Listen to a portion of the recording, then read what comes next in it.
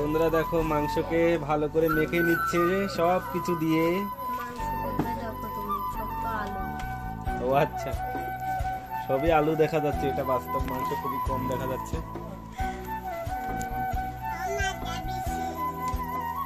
আরেকবার হাসো তো, হাসতে ভালোই তো লাগে। ও, আমার মেয়েও হেসে দেখাচ্ছে। হ্যাঁ? বন্ধুরা মাংস রান্না হয়ে যাবে এক্ষুনি চলে আসো। মাংস তো নেই শুধু আলু আছে।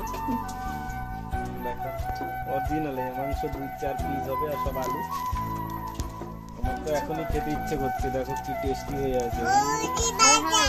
আমি পেঁয়াজ না কাইটে মাংস মাথা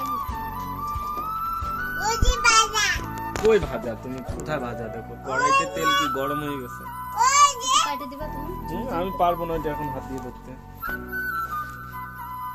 ঘুমে ঘুমে কই চলে গেছে আবার এই দেখো পেঁয়াজটাকে না কেটেই মেখে নিচ্ছিল এখন আবার কাটছে বসে বসে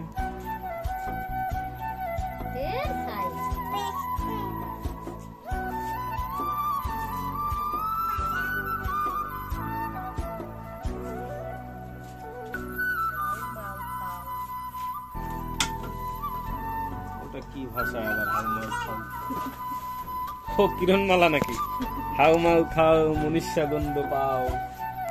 বলে তো কিরণ মালা বলতে না দেখো।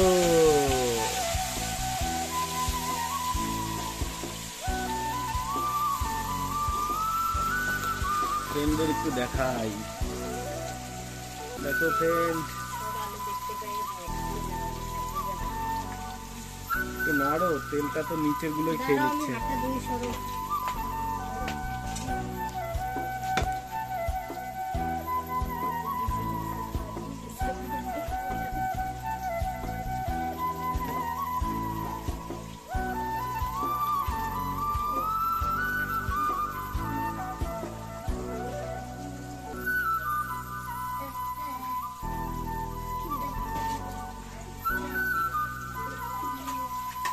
ওখানে তো কড়াই নিচে তেলটা তো প্রথম যে মাংসটুকু আছে ওটাই খেয়ে নিয়েছে।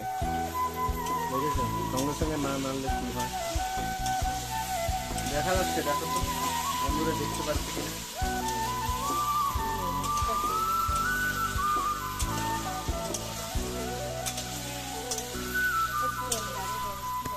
তো ফ্রেন্ড সবাই চলে এসো, ঝটপট, রান্না হয়ে যাচ্ছে। চলো তোমাদের সুস্মিতা ব্লগ ভিডিওকে একবার দেখাই।